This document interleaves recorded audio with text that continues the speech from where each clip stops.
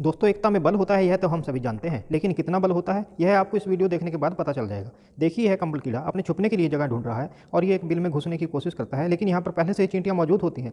चींटियों को जैसे ही पता चलता है कि कंबल कीड़ा यानी कि बिल में घुस गया है, ये तुरंत इसके ऊपर आक्रमण कर देती हैं और इसको यहाँ से भागने पर मजबूर कर देती हैं। देखिए, कुछ चींटियाँ इसके ऊपर चिपक गई हैं और इसको दूर तक जो है छोड़ के आएँगी।